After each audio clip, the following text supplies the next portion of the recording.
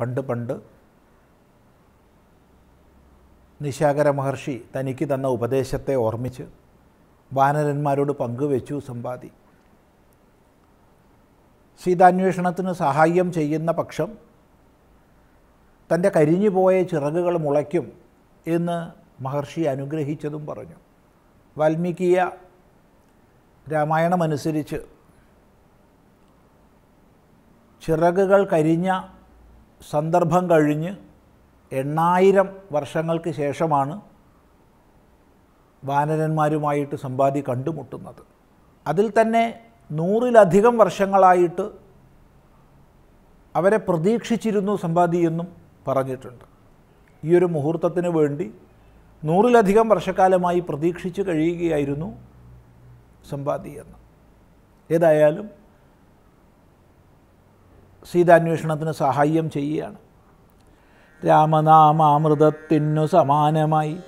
മാമകേ മാനസേ മറ്റു തോന്നീലഹോ? നല്ലതു മേന്മേൽ വരേണമേ നിങ്ങൾക്കു. കല്യാണഗാത്രിയെ കണ്ടുകിട്ടേണമേ നന്നായി അതിപ്രയത്നം ചെയ്യിലർണവം ഇന്നു തന്നെ കടക്കായി വരും നിർണയം. എന്തൊരത്ഭുതമാണ്. മഹർഷി പറഞ്ഞതനുസരിച്ച് എന്റെ ചിറകുകൾ മുളയ്ക്കുന്നത് നിങ്ങൾ കണ്ടില്ലേ? വാനരന്മാർ കണ്ടുകൊണ്ട് നിൽക്കവേ. സമ്പാദിയുടെ മുമ്പെങ്ങാണ്ട് കരിഞ്ഞുപോയ ചിറകുകൾ വീണ്ടും മുളയ്ക്കുകയാണ്.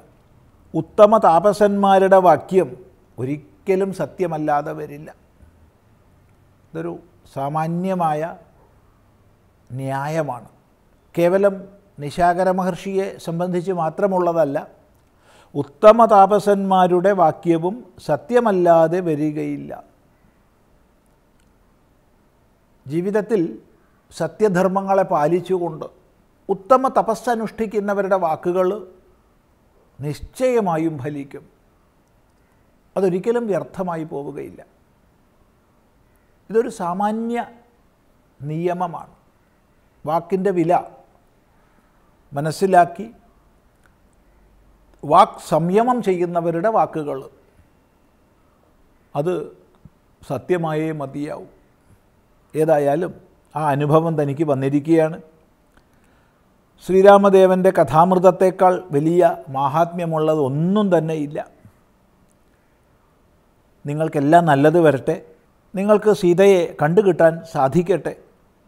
അതുകൊണ്ട് നല്ലപോലെ നിങ്ങൾ പ്രയത്നിച്ചാലും എങ്കിൽ നിശ്ചയമായും സമുദ്രം തരണം ചെയ്യാൻ സാധിക്കും. ശ്രീരാമനാമം ജപിക്കുന്നവർക്ക് സംസാര മഹാസമുദ്രത്തെ കടക്കാൻ സാധിക്കുന്നു.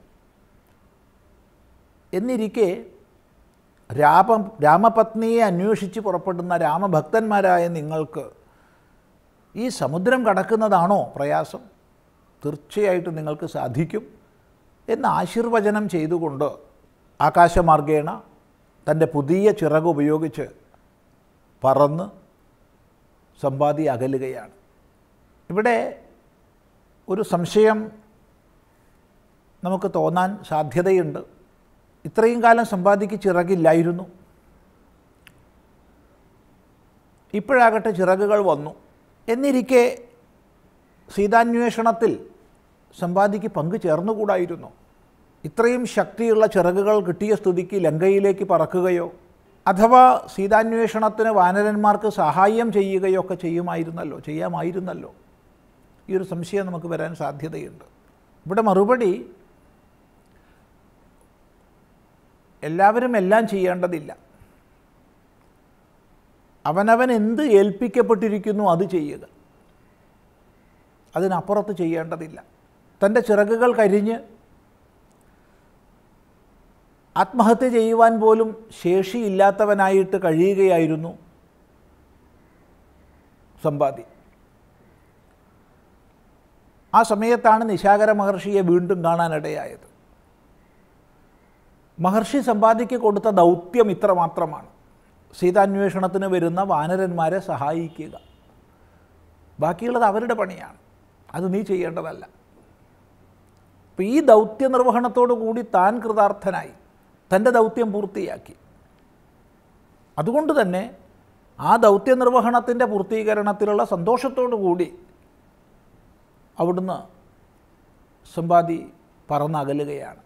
വാൽമീകീയ രാമായണത്തിൽ തന്റെ പുതുതായി മുളച്ച ചിറകുകളുടെ ശക്തി ഒന്നറിയുന്നതിനായിക്കൊണ്ട് സമ്പാദി പർവതത്തിൽ നിന്ന് ഉയർന്ന് പറന്നു എന്നാണ് പറയുന്നത്.